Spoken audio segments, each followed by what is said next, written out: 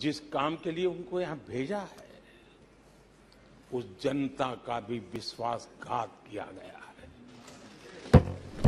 कि देश से ज़्यादा उनके लिए दल है, देश से बड़ा दल है, देश से पहले प्राथमिकता दल है। आपको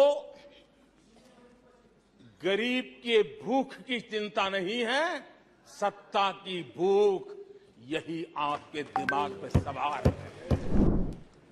डिजिटल डाटा प्रोटेक्शन बिल ये बिल अपने आप में देश के युवाओं के जज्बे में जिस बात आज प्रमुखता से है, उससे जुड़ा हुआ था। आने वाला समय टेक्नोलॉजी ड्रीवन है। आज डाटा को एक प्रकार से सेकंड ऑयल के रूप में सेकंड गोल्ड के रूप में माना जाता है। उस पर कितनी गंभीर चर्चा की ज़रूरत थी। लेकिन राजनीति आपके लिए प्राथमिकता थी। कई ऐसे बिल थे जो गाँव के लिए, गरीब के लिए, दलित के लिए, पिछड़ों के लिए, आदिवासी के लिए, उनके कल्याण की चर्चा करने के लिए थे। उनके भविष्य के साथ जुड़े हुए थे। लेकिन इसमें इन्हें कोई रुचि नहीं है। देश की जनता ने जिस काम के लिए उनको यहाँ भेजा है, उस जनता का भी विश्वासघात किया गया है।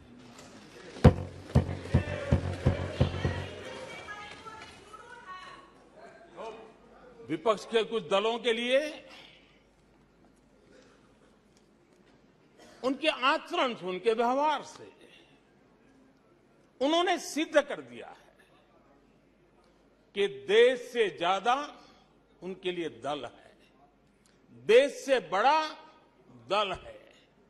देश से पहले प्राथमिकता दल है। मैं समझता हूँ, आपको गरीब के भूख की चिंता नहीं है, सत्ता की भूख यही आपके दिमाग में सवार है। आपको देश के युवाओं के भविष्य की परवाह नहीं है। आपको अपने राजनीतिक भविष्य की चिंता है। और मान्य अध्यक्ष जी, आप झूठे एक दिन सदन चलने भी दिया। किस काम के लिए?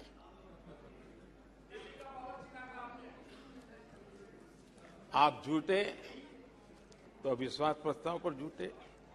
और अपने कट्टर भ्रष्ट साथी,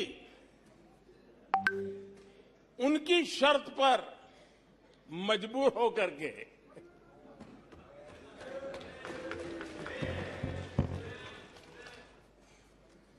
और इस अविश्वास पर, प्रस्ताव पर भी आपने कैसी चर्चा की? और तो मैं तो देख रहा हूँ सोशल मीडिया में आपके दरबारी भी बहुत दुखी है।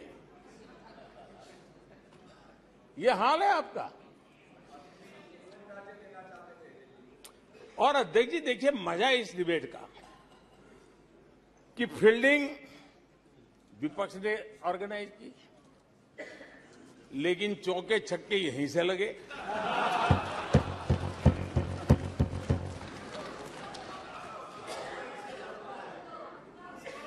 और विपक्ष नो कॉन्फिडेंस मोशन पे नो बॉल नो बॉल पर ही करता, आगे चलता जा रहा है।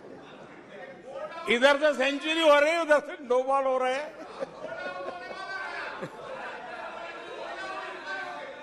अध्यक्ष जी मैं हमारे विपक्ष के साथियों से यही कहूँगा कि आप तैयारी करके क्यों नहीं आते जी? थोड़ी मेहनत कीजिए। और मैंने पाँच साल दिया आपको मेहनत करने के लिए। अट्ठारह में कहा था कि तेईस में आप आना, ज़रूर आना। पाँच साल भी नहीं कर पाए आप। क्या हाल है आप लोगों का? क्या दारिद्र है?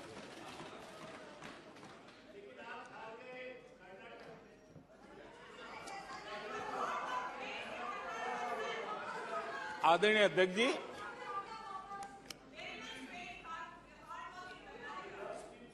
विपक्ष के हमारे साथियों को दिखास की, छपास की बहुत इच्छा रहती हो, पर स्वाभाविक है। लेकिन आप ये मत भूलिए कि देश भी आपको देख रहा है। आपके एक एक शब्द को देश गौर से सुन रहा है। लेकिन हर बार देश को आपने निराशा के सिवाय कुछ नहीं दिया है। और विपक्ष के रवैये पर भी मैं कहूँगा,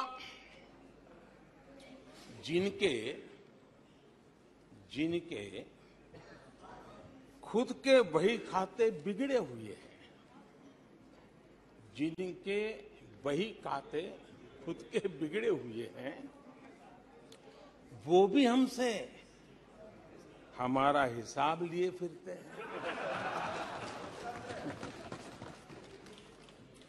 मान्य अध्यक्ष जी,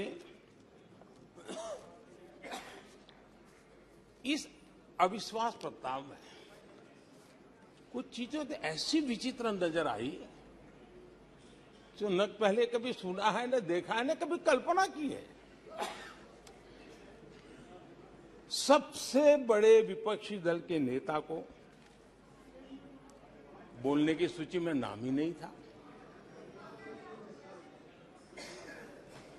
और पिछले उदाहरण देखिए आप 1999 में वाजपेयी सरकार के खिलाफ अविश्वास प्रस्ताव आया।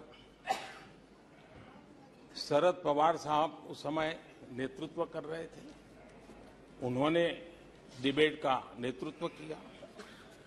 2003 में अटल जी की सरकार थी, सोनिया जी विपक्ष की नेता थी। उन्होंने लीड ली, उन्होंने विस्तार से अविश्वास प्रस्ताव रखा। 2018 में खड़गे जी थे विपक्ष के नेता, उन्होंने प्रोमिनेंटली विषय को आगे बढ़ाया। लेकिन इस बार अधीर बाबू को क्या हाल हो गया? उनकी पार्टी ने उन्हें बोलने का मौका नहीं दिया।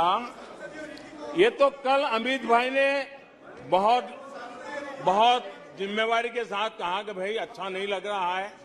और आपकी उदारता थी कि उनका समय समाप्त हो गया था तो भी आपने उनको आज मौका दिया। लेकिन गुड़ का गोबर कैसे करना, उसमें ये माहिर है।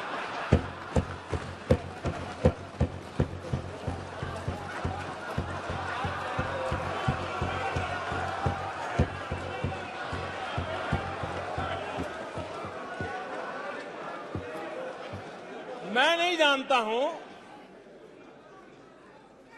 कि आखिर आपकी मजबूरी क्या है।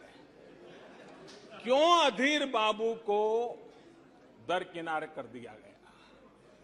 पता नहीं, कलकत्ता से कोई फ़ोन आया हो?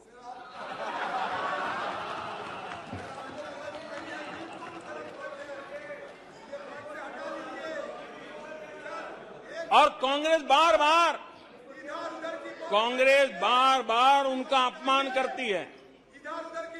कभी चुनावों के नाम पर उन्हें अस्थायी रूप से फ्लोर लीडर से हटा देते हैं, बिट्टू जी।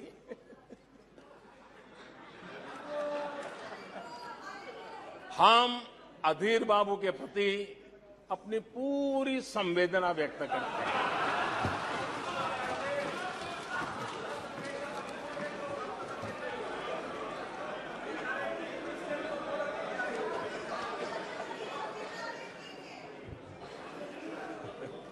सूरज जी जरा ज़ोर से हंस लीजिए।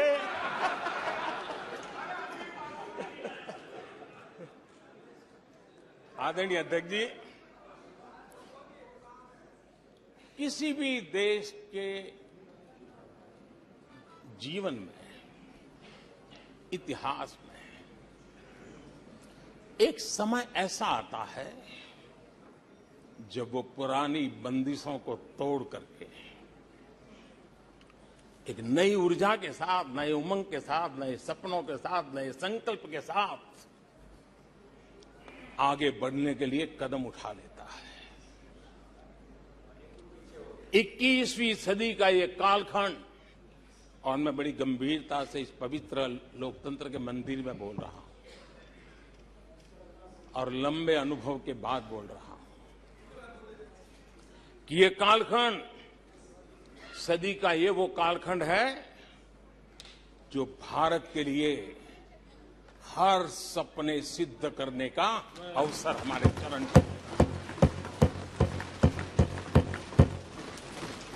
और हम सब ऐसे टाइम पीरियड में हैं, चाहे हम हैं, चाहे आप हैं, देश के कोटि कोटि जन है, ये टाइम पीरियड बहुत अहम है। बड़ा महत्वपूर्ण है। बदलते विश्व में और मैं इन शब्दों को भी, भी बड़े विश्वास से कहना चाहता हूँ कि ये कालखंड जो घड़ेगा उसका प्रभाव इस देश पर आने वाले एक हज़ार साल तक रहने वाला